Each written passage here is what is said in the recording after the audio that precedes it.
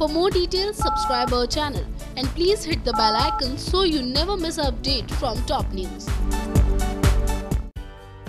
ये रिश्ता क्या कहलाता है कि एक बार फिर से नई अपडेट लेकर हाजिर हो गए हम, जिसमें हम आपको बताने वाले हैं कि क्या होगी नायरा की हालत जब उसे ये पता चलेगा कि उसे मरा हुआ बच्चा पैदा हुआ है।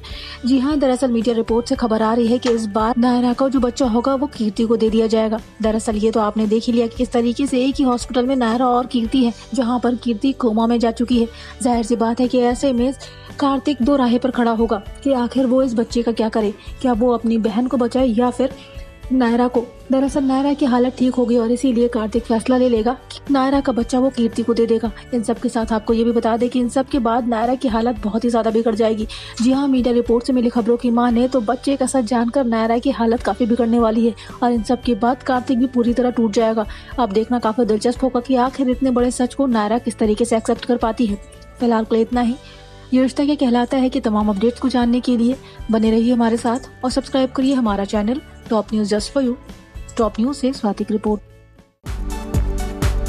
more details, subscribe our channel and please hit the bell icon so you never miss an update from top news.